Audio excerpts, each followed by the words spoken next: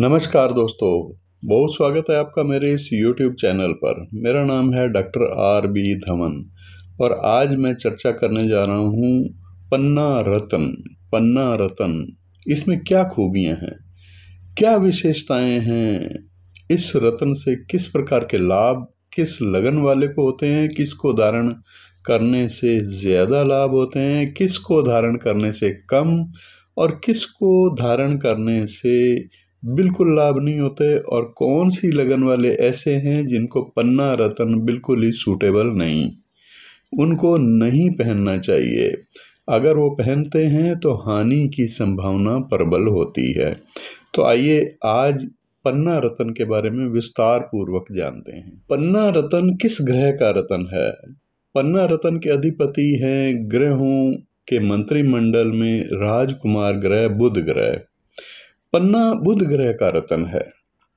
इस ग्रह को सभी ग्रहों में राजकुमार का दर्जा प्राप्त है और परंतु अलग अलग लगन वालों को बुध ग्रह अलग अलग प्रकार से अपना फल प्रदान करने वाले होते हैं। अलग अलग शक्ति के अनुसार कुंडली में कैसी शक्ति है? बुध ग्रह की उसके अनुसार भी बुध ग्रह अपना फल शुभ या अशुभ या कम शुभ या ज़्यादा शुभ इस प्रकार से देते हैं। अपनी शक्ति के अनुसार ये फल देते हैं। बुध किस लगन राशि वालों के लिए सबसे ज़्यादा शुभकारी होगा? और किस लगन राशि वालों के लिए मध्यम होगा? किस लगन राशि के लिए बिल्कुल न्यून और अति न्यून शुभ फल देने वाला होगा? कौन सी लगन राशियाँ ऐसी हैं जिनके लिए बुध का रतन पन्ना अगर धारण किया जाए तो वो हानिकारक होता है। तो आइए जानते हैं सबसे पहले शुभ लगने, जिनके लिए पन्ना सबसे ज़्यादा शुभकारी होता है। ये ज्योतिष शास्त्र के अनुसार पन्ना रतन मिथुन लगन वालों को, कन्या लगन वालों को, तुला लगन वालों को और मकर लगन वालों को इन लगन वालों को सर्वाधिक अनुकूल मतलब शुभ फल देने वाला होता है। इसके बाद फिर दो लगने और हैं, जो वृषभ और कुंभ लगन है। इनके लिए न्यूट्रल फल देता है पन्ना, अगर धारण करते हैं ये जातक तो। न्यूट्रल का मतलब यह है कि ना तो ज़्यादा शुभ, ना ही कोई अशुभ फल विशेष देता है। पन्ना किस लगन वाले को नहीं पहनना चाहिए? कहाँ ये नुकसान देता है किस लगन वालों को? तो ज्योतिष शास्त्र के अनुसार पन्ना रतन सिंह लगन वालों को, धनु लगन वालों को और मीन लगन वालों के लिए सबसे ज़्यादा अशुभ फल देने वाला होता है। इसके बाद फिर मेष लगन है, कर्क लगन है और वृश्चक लगन है। इनके लिए भी अशुभ होता है। अशुभ नहीं होता जितना सिंह धनु और मीन लगन वालों के लिए अशुभ हो सकता तो है। इसलिए इन छह लगन वालों को पन्ना बिल्कुल नहीं पहनना चाहिए।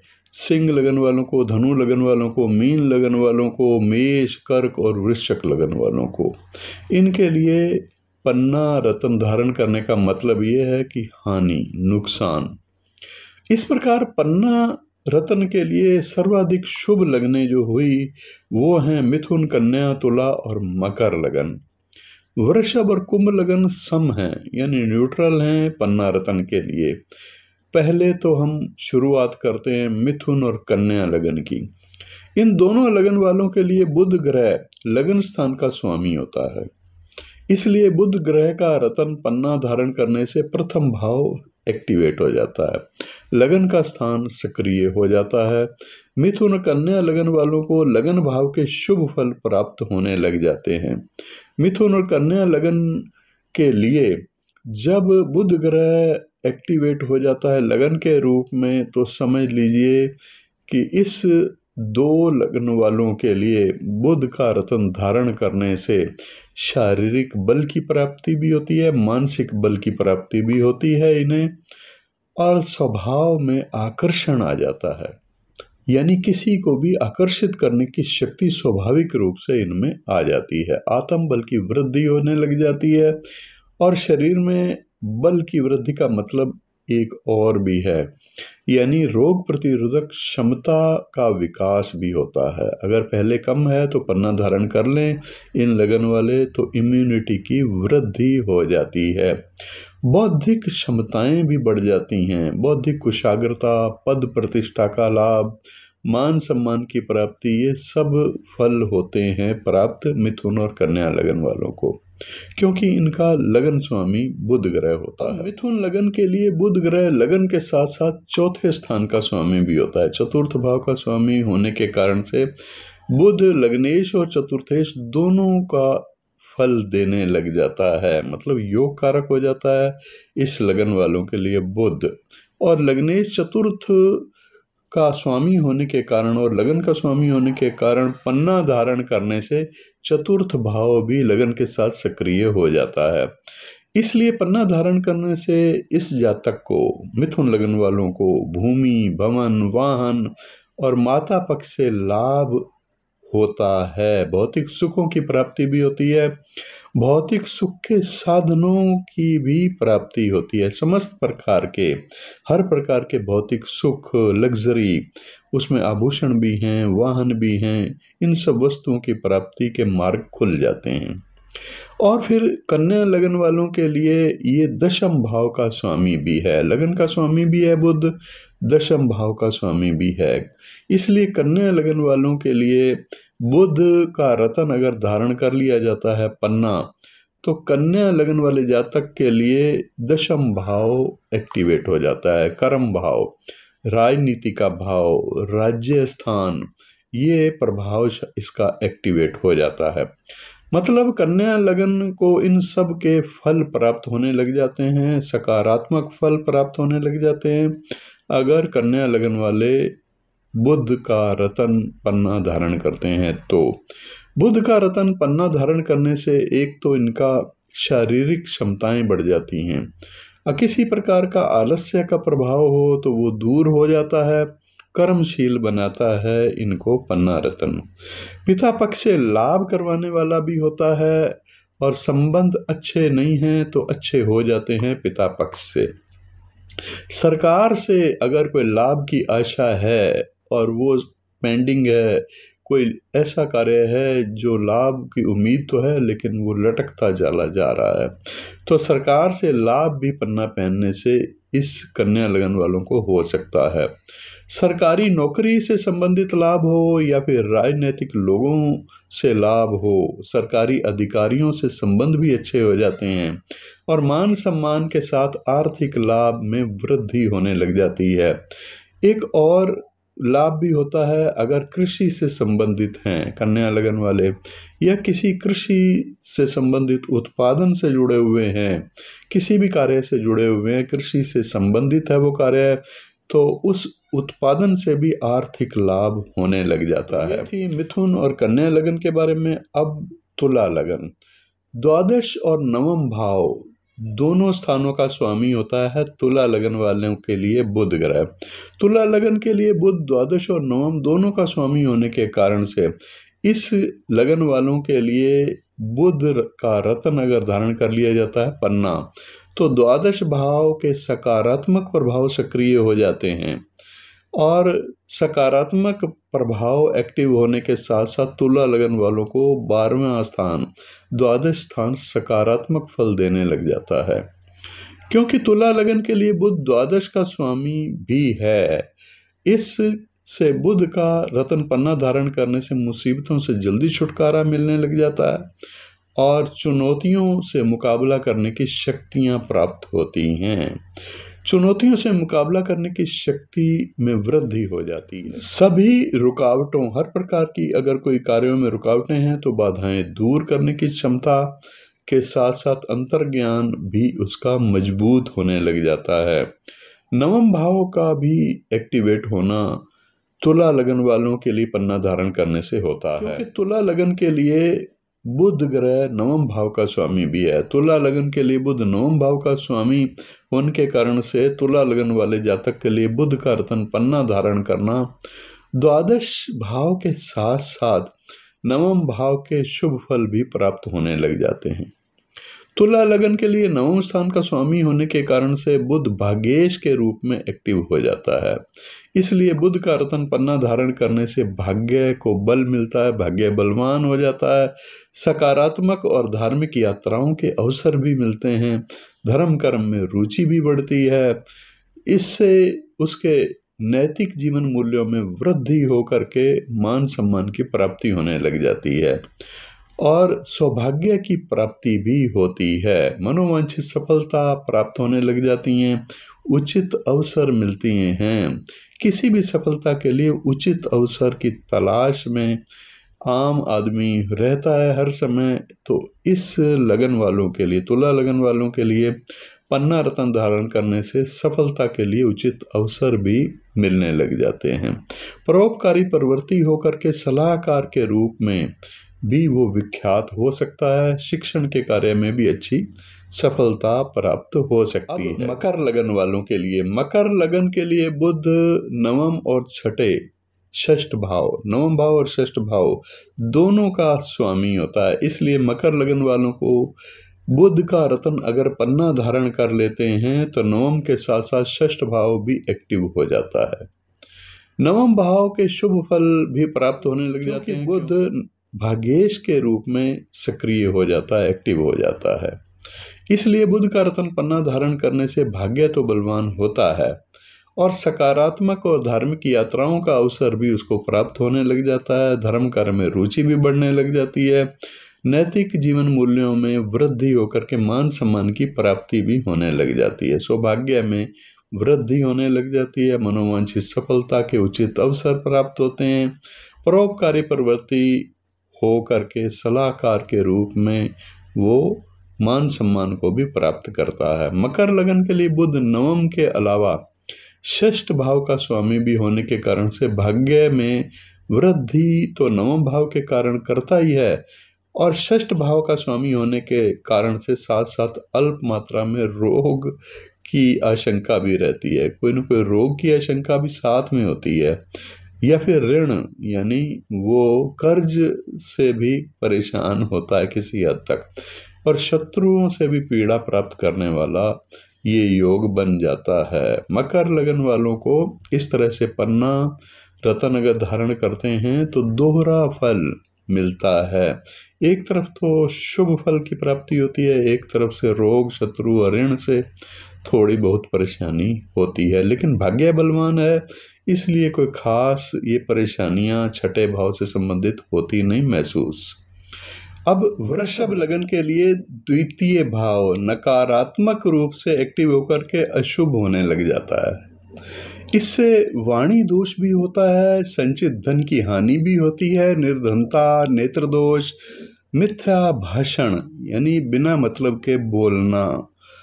और इस कारण से परिवार और अपनों से झगड़ा होते रहना इस प्रकार की संभावनाएँ होती हैं। अचानक दुर्घटना का योग भी हो सकता है, क्योंकि सेकंड हाउस का कुछ प्रभाव ही ऐसा होता है। अधिक अशुभ प्रभाव प्रकट करने वाला ये स्थान है, द्वितीय स्थान। तो इस कारण से पंचम स्थान का फल तो शुभ है, लेकिन द्वितीय स्थान का फल शुभ नहीं है, अशुभ है। तो एवरेज अगर निकाली जाए तो वृषभ लगन के लिए जो पन्ना रत्न होगा, वो ज़्यादा शुभ, लेकिन कभी कभी अशुभ फल भी अवश्य प्रकट करने वाला होता है। तो न्यूट्रल हो जाता है। दोनों प्रकार से अगर देखा जाए, अच्छे और बुरे का प्रभाव इस तरह से होता है। अब कुंभ लगन वालों के लिए बुध, ग्रह, अष्टम भाव और पंचम भाव दोनों का एक साथ स्वामी होता है। इसलिए कुंभ लगन वालों को पन्ना धारण करने से बुध ग्रह, अष्टम और पंचम दोनों भाव को एक्टिव कर देता है।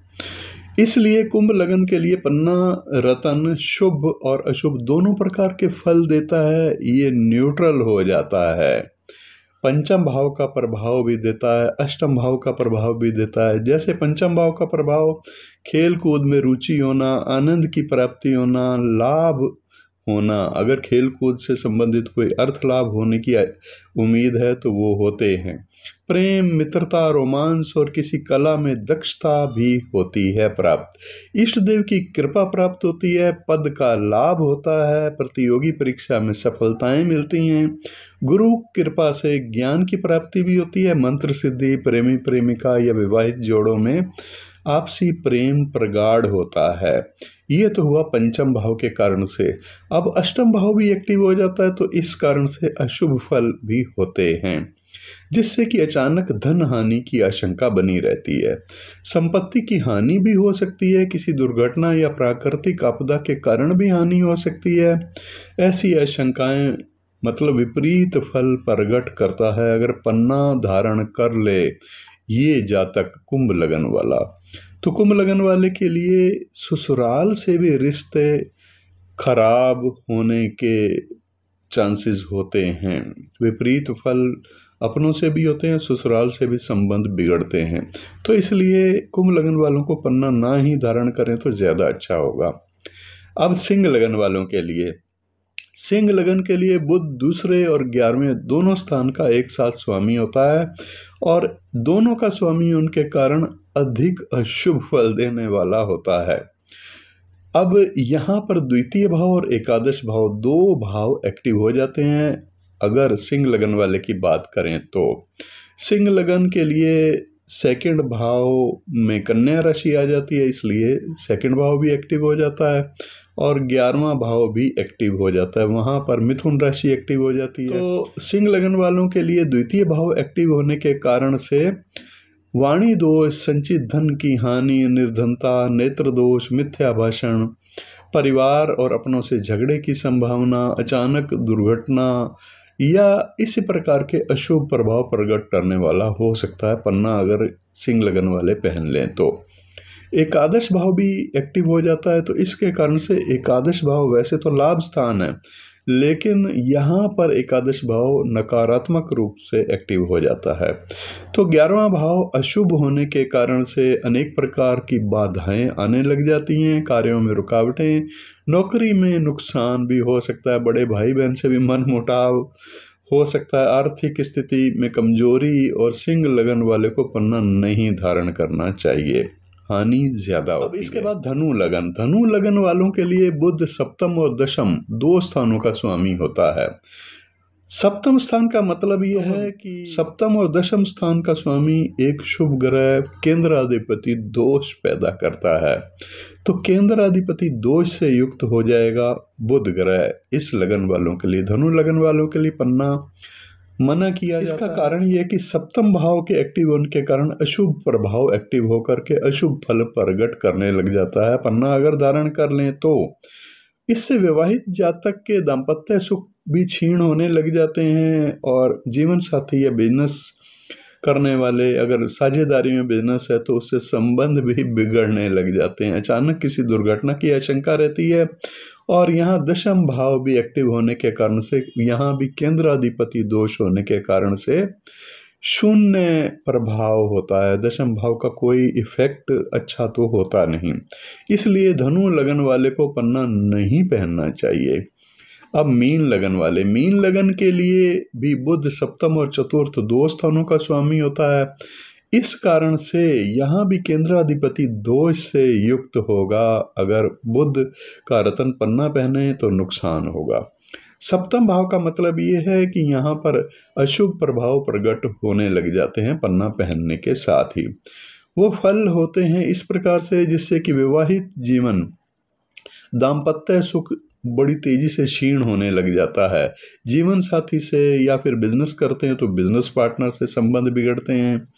अचानक किसी दुर्घटना के चांसेस होते हैं और आशंकाएँ जो हैं वो होती ही हैं दुर्घटना हो सकती है। तो यहाँ पर चतुर्थ भाव भी एक्टिव हो जाता है और चतुर्थ भाव भी नकारात्मक रूप से एक्टिव हो जाता है। इस कारण से माता से भूमि से वाहन से और भौतिक सुख के साधन जितने भी प्रकार से हो सकते हैं उनके भी बाधाएँ, रुकावटें उनमें भी होती हैं। केंद्राधिपति दोष के कारण से ये प्रभाव होता है और सुख के साधन शून्य हो जाते हैं। मीन लगन वालों को भी इस कारण से पन्ना नहीं पहनना चाहिए। अब मेष लगन वालों के लिए, मेष लगन के लिए बुद्ध तीसरे और छठे स्थान दोनों स्थानों का स्वामी होने के कारण से बिल्कुल अशुभ होता है।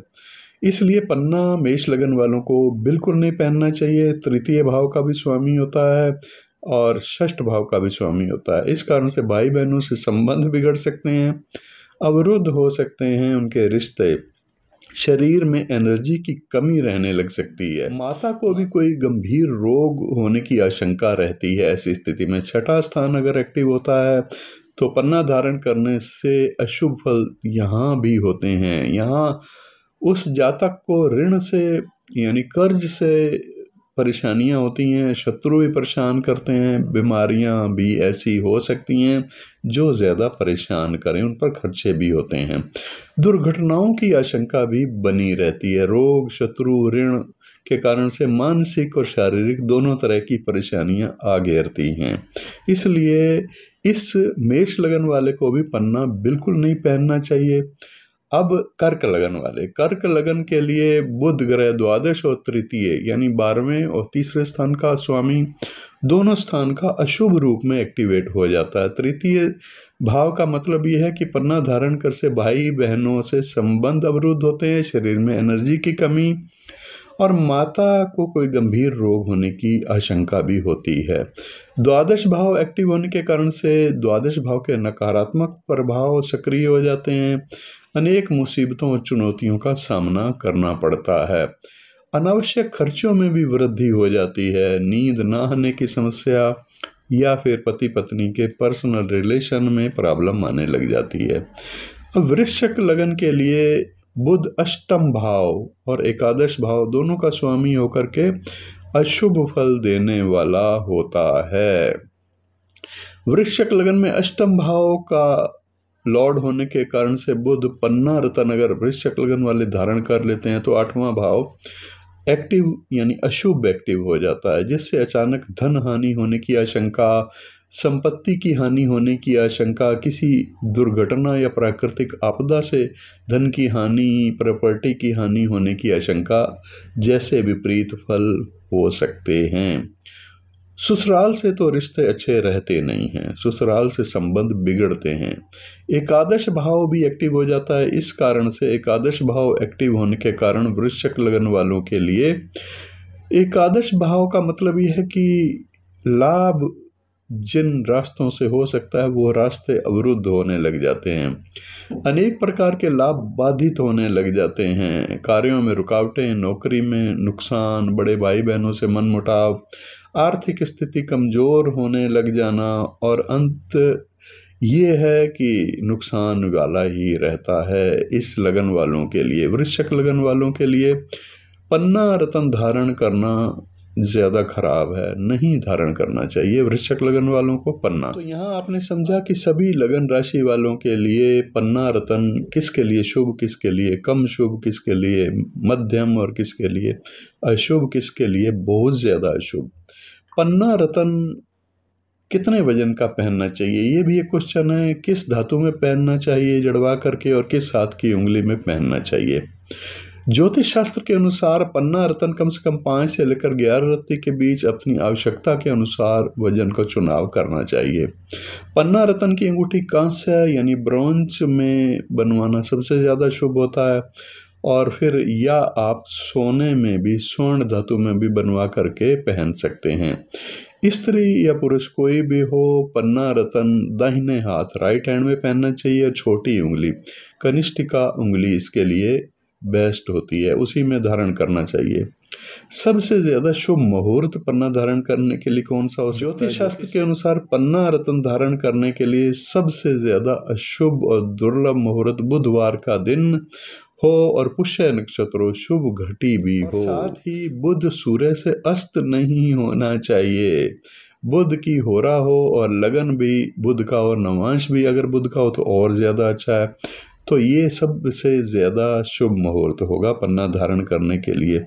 दूसरा मुहूर्त इसके अलावा जो है, वो है शुक्ल। पक्ष का बुधवार हो और बुध उदय होना चाहिए। सूर्य से अस्त नहीं होना चाहिए।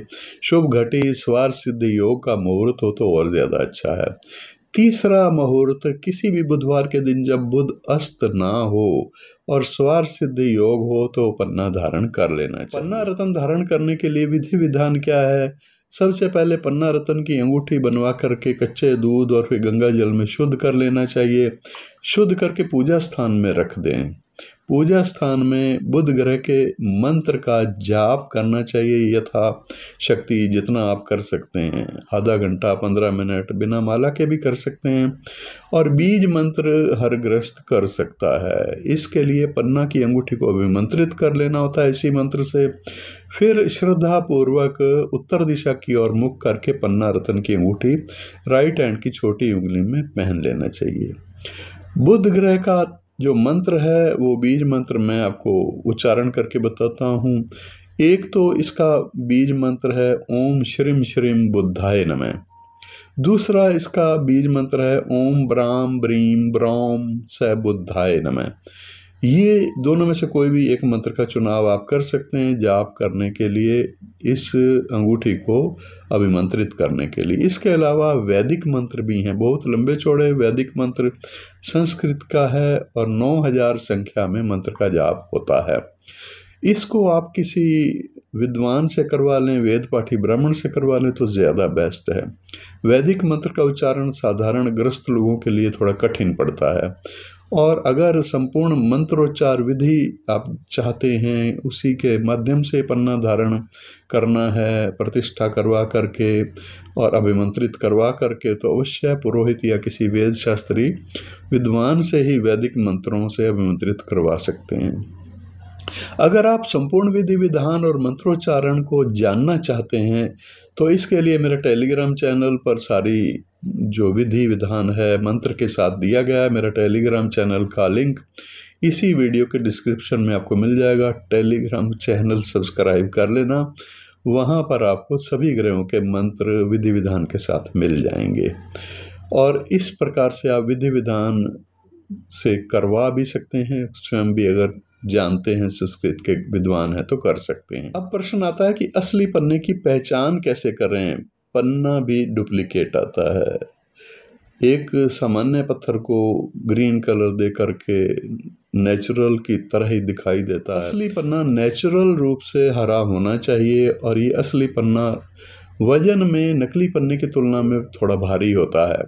चिकना होता है नेचुरल पन्ना कुछ गहरे हरे रंग का होता है। इसके लिए प्रमाणिक संस्थान से आप इसका लेबोरेटरी सर्टिफिकेट मांगें और जीएसटी बिल के साथ प्रमाणिक लैब का ही टेस्ट किया हुआ। याद रखें प्रमाणिक लैब से ही टेस्ट किया हुआ होना चाहिए। और असली पन्ना कहाँ से खरीदें? अगर आपको मुश्किल हो रही है पन्ना रतन कहाँ से खरीदें? दुविधा में है तो आप हमारे संस्थान से भी खरीद सकते हैं। प्रमाणिक संस्थान से भी खरीद सकते हैं हमारे संस्थान से भी खरीद सकते हैं।